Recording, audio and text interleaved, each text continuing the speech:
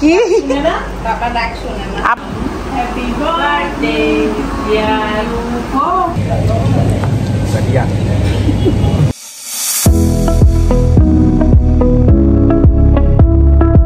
আসসালামু আলাইকুম এভরিওয়ান সবার কি খবর? কেমন আছেন? চলে আসলাম পুরাতন একটা ওল্ড ভ্লগ নিয়ে। এটা লিটারালি আমার হাজব্যান্ডের বার্থডের দিনের ভ্লগ আগের দিনের রাতে বেলার ভ্লগ ঠিক বারোটার দিকে আমরা কেক টেক মানে কাটবো তার এক মুহূর্তে। আমার রাতে ডিনার করলাম স্পেশাল খাবার ছিল, পোলাও টোলাও ছিল, যেহেতু আমার জামাইয়ের বার্থডে বলে কথা। তারপরে আমার ডিনার করে দেন, আমরা হচ্ছে বারোটার দিকে কেক কাটাকাটি করব। এর জন্য কেক টেক বের করছিলাম আর আমার মেয়ে এত এক্সাইটেড সে পার্টি ফ্রক পরেছে, সে হচ্ছে কেক কাটবে। সে বারবার তার বাবা একটু বিজি ছিল ফোনে সে বারবার যাচ্ছিল বাবার কাছে যে বাবাকে নিয়ে আসার জন্য, কিন্তু ওর বাবা আসছিল না এই জন্য বেচারি মন খারাপ করে রুমে ঢুকছিল, বলছিল মানে কখন কেকটা কাটা হবে? আমার মতনই সে কেক নিয়ে বিশাল এক্সাইটেড আমিও যেমন এক্সাইটেড থাকি অলওয়েজ বার্থডে নিয়ে। সো ফাইনালি এই যে কেক টেক কাটা হচ্ছিল, আমরা সবাই মিলে কেক টেক কাটলাম দেন মজা করে কেকটা খেলাম। আর আমার মেয়ের তো কেক আমার মতোই নি- খুবই খুবই খুবই পছন্দ। আর কেকটা খুব মজা ছিল, ভালোই মজা ছিল। ভালো মজা বলতে আমি এই রেড ভেলভেট কেকটা তেমন একটা খাওয়া হয় না, তো ওই দিন খাওয়া হয়েছিল, কেকটা taste not bad cake storage থেকে না হয়েছিল। তারপর এটা ছিল বার্থডের দিনের ব্লগ বার্থডের দিনে হচ্ছে তেমন কোনো প্ল্যান ছিল না ফার্স্ট ডে কারণ আমার হাজব্যান্ড খুবই বিজি ছিল। দেন সাডেনলি বেচারা খুব কষ্ট করে হচ্ছে আমাকে সময় দিয়েছে বার্থডে ওনার আর সময় দিয়েছে আমাকে, এর জন্য আমি খুবই হ্যাপি তা আমরা একটু রেডি সেডি হয়েছি যে বাইরে ডিনার করব প্লাস হচ্ছে আমার হাজব্যান্ড যেহেতু বার্থডে উপলক্ষে কোনো গিফটই সে নেয়নি। সো আমি বললাম, ঠিক আছে, চলো, তোমার একটা টি শার্ট কিনে দিই। ও যেহেতু এখন খুব টি শার্ট পরে সো টপ টেনে চলে গেলাম। অনেক ভালো ভালো সুন্দর সুন্দর টি শার্ট ছিল বাট প্রবলেম একটাই ছিল, ওর সাইজে না যেগুলো পছন্দ করছিল, বেশিরভাগই ছোট হচ্ছিল।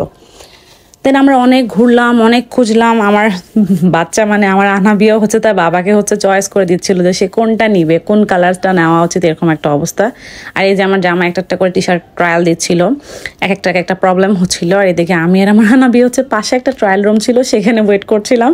আর আমার মেয়ে যে কী কী করছে, সে গেট লাগাচ্ছে, খুলছে, এতগুলো মিরর একসাথে লাগানো। সো অনেকগুলো আনাবিও দেখতে পাচ্ছে। তো ওর তো খুব মানে মজা লাগছে যে এখানে দাঁড়িয়ে। সো এখান থেকে সে সরবেই না, নড়বেও না। বারবার বলছে, চলো মেয়ে, আমার আনাবিয়া চলো যাই।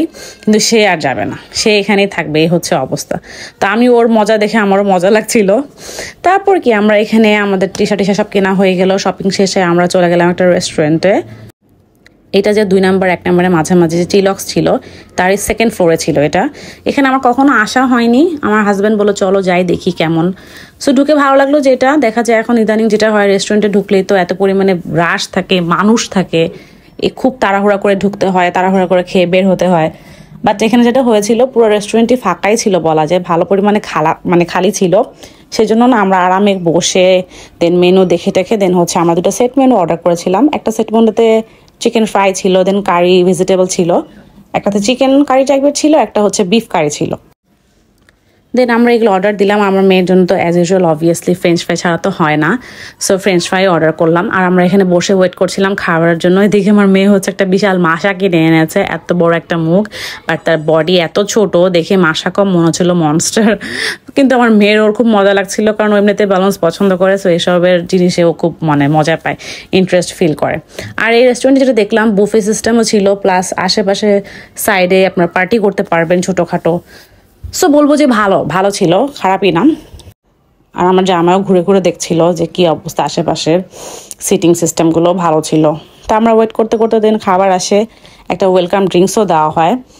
আর এদিকে আমার মেয়ে হচ্ছে সে মাসা নিয়ে সেই লেভেলের ব্যস্ত। মাসা একেই সে দেখছে, সে যে মানে ওটা কিনে এনেছে, সে ওটা নিয়েই খেলা করছে। তার আশেপাশে আর কোনো কিছু তার দেখতেও হবে না, ঘুরতে হবে না, এ হচ্ছে অবস্থা। আর আমি ওকে দেখছি সে মাসা নিয়ে যে কী পরিমাণে ইন্টারেস্ট ফিল করছে।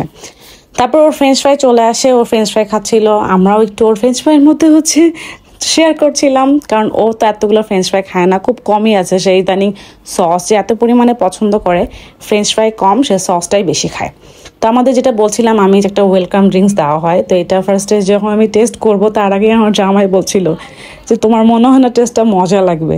কারণ এটা একটা লেমন লেমন ফ্লেভার আসছিল প্লাস একটা নাপা সিরাপের একটা ফ্লেভার আসছিল, খুব বলতেছিল, খুবই বাজে একটা টেস্ট তো এটা নিয়ে হচ্ছে আমরা মজা করছিলাম। আর আমার মেয়েকে তো দেখতেই পাচ্ছেন, সে মনোযোগ সহকারে হচ্ছে ফ্রেঞ্চ ফ্রাই খাচ্ছে। আর আমরা হচ্ছে ড্রিঙ্কসটা নিয়ে হাসাহাসি করছিলাম যে কেমন টেস্ট কিছুই বোঝা যাচ্ছে না। দেন অবশেষে দেখতে পাচ্ছেন আমাদের সেট মেনুটা খাবারটা চলে আসে। ভালো লেভেলে মানে ভালো পরিমাণে খাবার ছিল দুটো চিকেন ফ্রাই ছিল, একটা কারি যেটা বলছিলাম আমি দেন হচ্ছে ভেজিটেবল ছিল। এই কারিটাই হচ্ছে আমারটা চিকেন ছিল আর আমার জামারটা হচ্ছে বিফ ছিল। আমার জামার যেটা একটা সেট মধ্যে দেখলাম যে ওর বিফ কারিটা একটু ঝাল আর আমার রাইসটা হচ্ছে ঝাল। এটাই হচ্ছে চেঞ্জ ছিল। তারপর মেল মানে অবশেষে সে বের হয়ে একটু হাঁটাহাঁটি করতে গিয়ে দেখে যে সাইডে হচ্ছে বেবিদের খেলার জায়গা আছে। সো ওনার তো এখানে আসতে হবে। খেলার জায়গা দেখলে ও একদম পাগল হয়ে যায়। খুব মজা লাগে ওর সব জায়গাগুলোতে।